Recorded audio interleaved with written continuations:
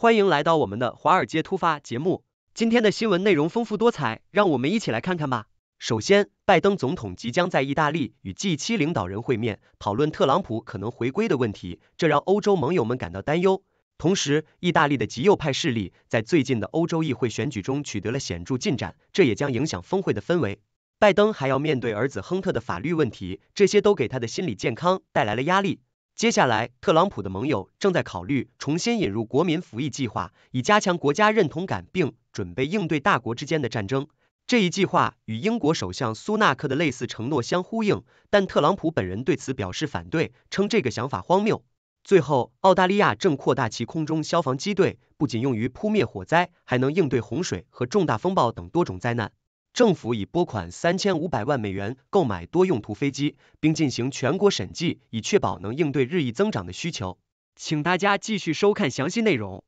华盛顿邮报报道，三年前，拜登首次以美国总统身份出席七国集团 G7 峰会。当时，他试图翻开特朗普总统任期的篇章，承诺美国将提供更稳健的全球领导力。然而，当拜登抵达意大利参加可能是他最后一次 G7 峰会时，他将面对紧张的盟友，他们密切关注他与特朗普的再次对决，并担心拜登的“美国回来了”的承诺在明年加拿大的聚会时是否还能成立。特朗普在任期间经常批评北约，并暗示如果再次当选，他可能会退出该军事联盟，这让盟友们感到不安。拜登还将面对一个变化的欧洲政治格局，即右翼政党在法国和德国的欧洲议会选举中取得了巨大进展。法国总统马克龙甚至解散了法国议会，并在巴黎奥运会前夕宣布提前选举。拜登的儿子亨特·拜登因在购枪文件上撒谎和非法持枪被判有罪，这也让总统深受打击。尽管如此，特朗普可能回归的阴影将笼罩此次峰会。欧洲领导人必须考虑，在不那么依赖美国支持的情况下，如何自立。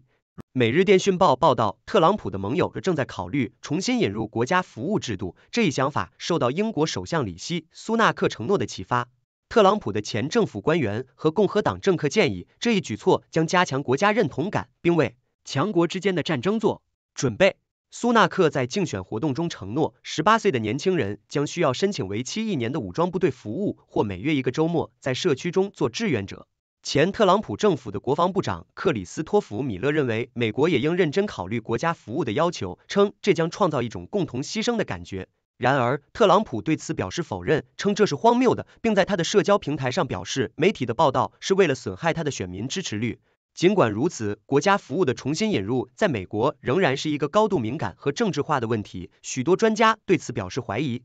每日电讯报还评价了 BBC 的新反信息误导播客节目纪录片《谁的真相》，认为尽管这一想法在纸面上看起来很有价值，但听众可能会感到失望。节目邀请了四位诺贝尔奖得主讨论各自领域中的错误信息问题，然而每集只有十七分钟，内容显得非常紧凑且分散。例如，关于气候变化否认的那一集，虽然邀请了著名遗传学家保罗·纳斯，但他并不是气候科学家，只能在短短四分钟内泛泛而谈。其他几位气候专家也只能在有限的时间内表达观点，使得内容显得支离破碎。虽然关于新冠疫苗和俄乌战争的集数较为集中，但整体节目仍显得过于仓促，无法深入探讨问题。相比之下，作家马克思·波特的新广播小说《摄影师》则通过五个十五分钟的章节，以细腻的笔触描绘了一位抑郁摄影师的内心世界，展现了更为完整和深刻的故事。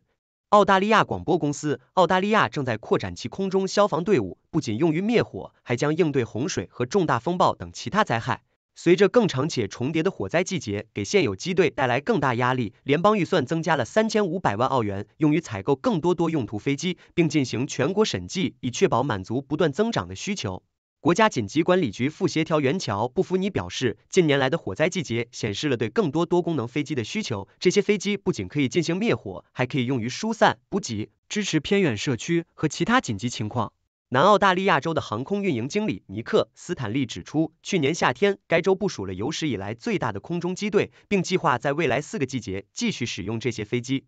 悉尼晨风报犹太议员呼吁所有澳大利亚大学采用一个政治上有争议的反犹太主义定义，该定义在加沙冲突爆发前几个月被一些主要学术机构拒绝。自由党议员朱利安·利瑟和工党议员乔什·伯恩斯表示，只有少数大学将国际大屠杀纪念联盟的反犹太主义定义纳入其政策，这令人难以置信。尽管该定义包括批评以色列政策不应被视为反犹太主义的条款，但一些人认为它可能被用来压制对以色列政府的批评。墨尔本大学、悉尼大学、蒙纳士大学和新南威尔士大学在2022年采纳或参考了该定义，但许多大学在去年早些时候拒绝了这一请求。全国高等教育工会表示，尽管强烈反对反犹太主义和所有形式的种族主义，但认为该定义可能被滥用以限制学术自由。雅虎美国在一段由 Kiro 七获得的视频中，两名西雅图警察在公交车站暴力逮捕一名纵火嫌疑人。五月三十一日，迪安东尼马塞尔在乘坐公交车时记录了这一暴力事件，发生在雷尼尔大道南和南安德福街的车站。视频显示，两名警察多次用警棍击打嫌疑人，然后跪在他的背上。马塞尔表示，嫌疑人试图自我保护，而非抗拒逮捕。现在，这两名警察正在接受使用武力的调查。其中一名警察的内森帕特森在二零二零年曾因对抗议者使用过度武力而被调查。临时警察局长苏拉尔和警察问责办公室表示，他们正在调查五月三十一日雷尼尔谷公交车站的武力使用情况。Yahoo US 报道，肯塔基州警方在寻找失踪的八个月大婴儿的米亚塔克的过程中，使用了尸体嗅探犬搜索了他家附近的树林，但没有发现任何线索。米亚的父母泰斯拉塔克和凯奇鲁德，以及祖父母比利 J 史密斯和瑞奇 J 史密斯，还有一名叫蒂莫西 L 罗奇的男子被捕。警方在肯塔基州的一家 Motel 六酒店房间内发现了包括芬太尼和甲基苯丙胺在内的毒品，但没有找到米亚。米亚的祖母在警方前往他家寻找米亚时被捕，原因是他有一项未执行的家庭暴力逮捕令。警方还发现罗奇在祖母家时丢弃了未开处方的药物。米亚自四月末以来一直未被家人见到，他出生时脐带检测出甲基苯丙胺阳性，州当局曾计划将他从家庭中带走。警方仍希望能找到米亚，但随着时间的推移，结果可能会越来越不乐观。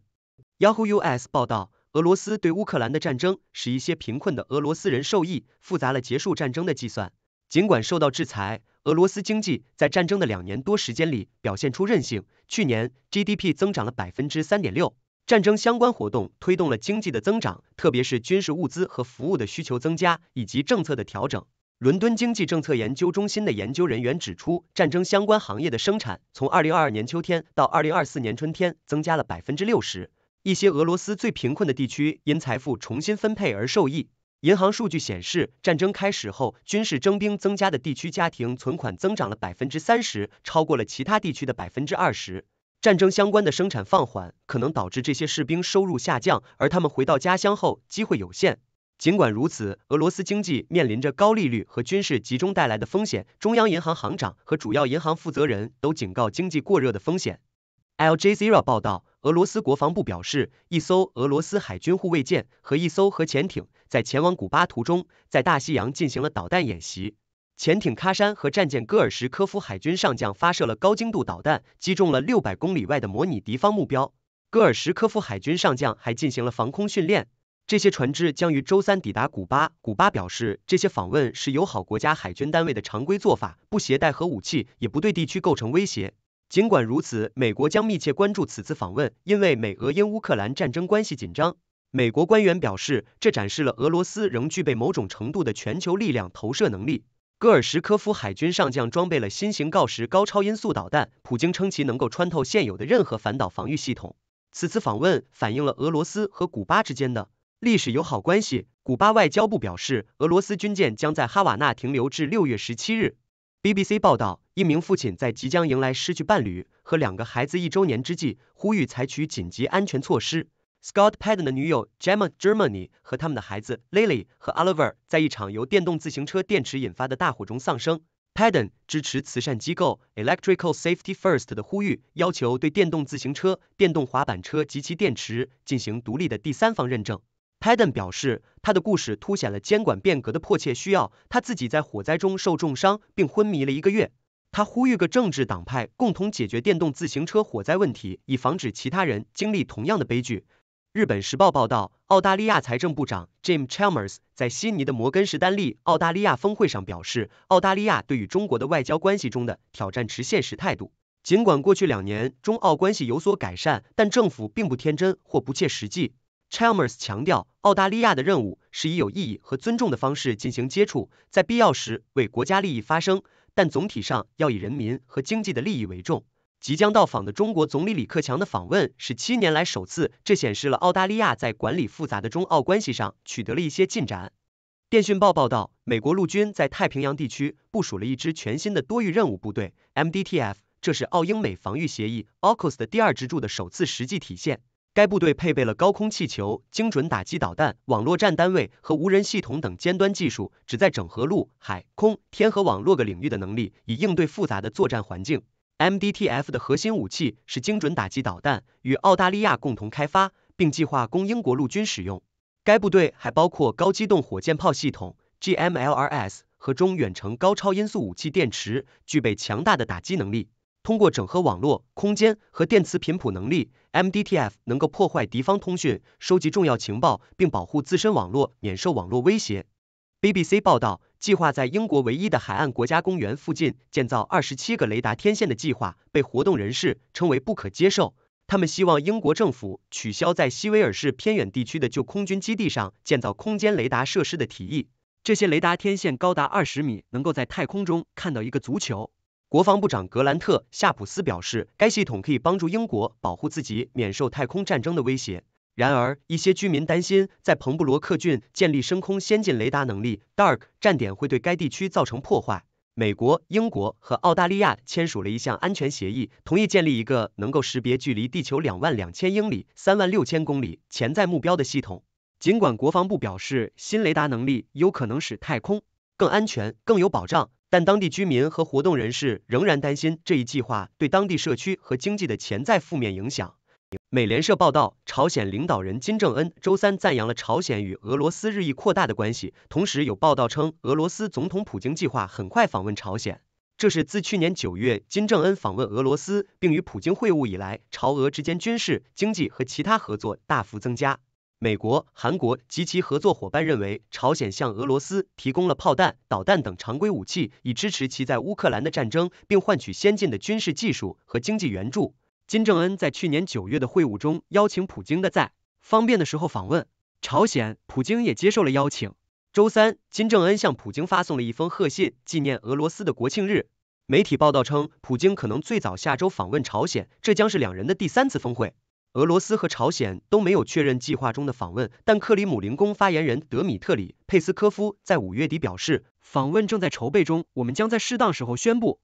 日本时报报道，福冈县警方周二逮捕了一名五十五岁的男子，此前他从菲律宾被驱逐出境，这名嫌疑人涉嫌参与一系列大规模盗窃案。嫌疑人鹿儿岛孝行自今年三月以来一直被菲律宾移民当局拘留。据警方的有组织犯罪部门称，鹿儿岛被认为是总部设在菲律宾的日本犯罪集团 J.P. Dragon 的成员。他于二零二二年十一月进入菲律宾，并一直非法拘留。警方表示，鹿儿岛涉嫌参与一系列在日本国内的大规模盗窃案，这些案件涉及巨额财产损失。警方正在进一步调查其在犯罪集团中的具体角色和参与程度。谢谢您的收看。上面播报的内容是六度团队推荐的全球专业媒体、智库、政府机构和行业专家的最新报道、分析简报。更详细的内容，请大家去这些媒体、智库的网站阅读。这些内容并不一定反映六度简报的立场，亦不能作为任何决策的建议。六度团队由专业媒体人、学者、科学家组成的独立新型媒体，大家可以根据自己的专业要求订阅各种简报。网址是六度 obrief 点 com。您在世界任何地方。都可以通过电邮收到六度简报。